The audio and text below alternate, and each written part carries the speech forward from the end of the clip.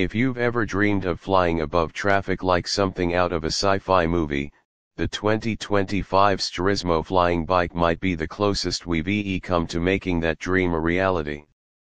This futuristic hover bike blends motorcycle agility with drone-like flight technology, opening the door to a whole new way of moving through the world.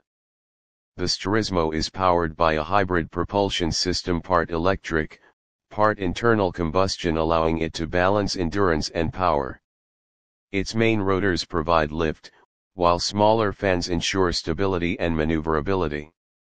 It's designed to hover several meters above the ground and can reach speeds of up to 100 km h around 62 miles per hour, making it suitable for short commutes or emergency response applications. From a design perspective, the XTURISMO looks like a mix between a sport bike and a high-end drone. It features a carbon fiber body to keep the weight down, while its aerodynamic lines add both visual appeal and functional efficiency.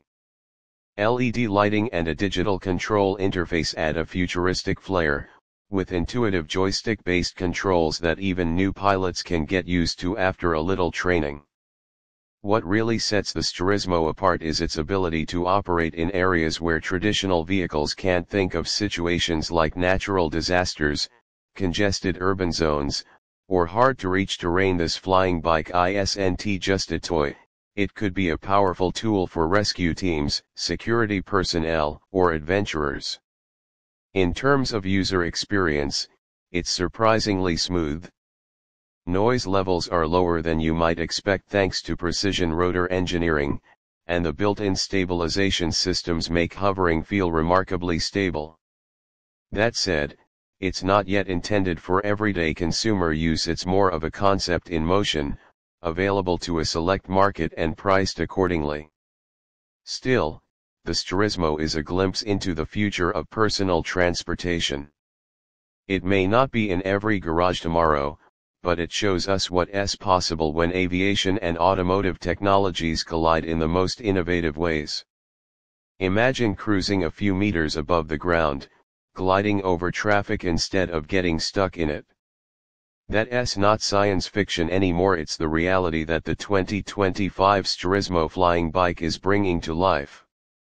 Developed by AERWINS Technologies in Japan, this hoverbike is one of the world's first commercially available flying motorcycles, and it's reshaping how we think about mobility.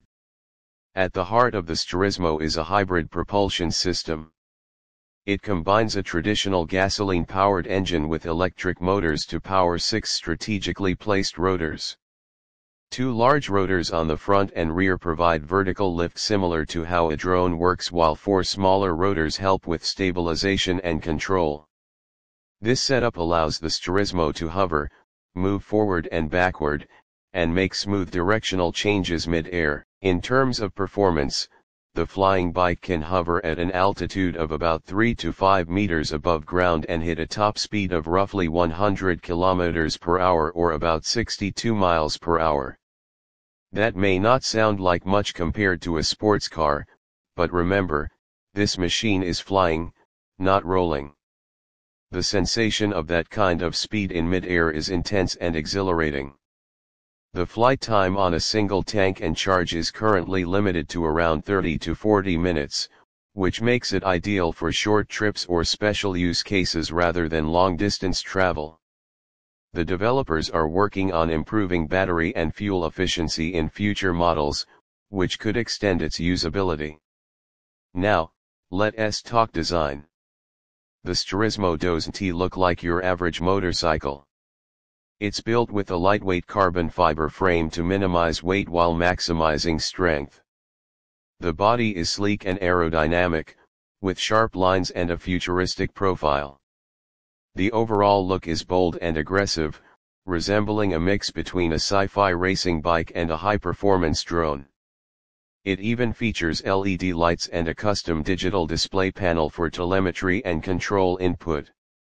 For control, the rider uses a joystick-like interface rather than handlebars. It might sound complex, but the system is surprisingly intuitive. Pilots receive basic flight training before taking off, and the onboard stabilization systems assist with balance, altitude control, and directional changes, making the flying experience smooth and beginner-friendly. Where this machine really shines is in special use scenarios.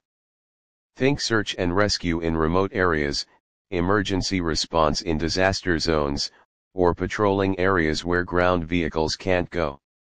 Its ability to bypass terrain and obstacles gives it real utility beyond just being a luxury gadget.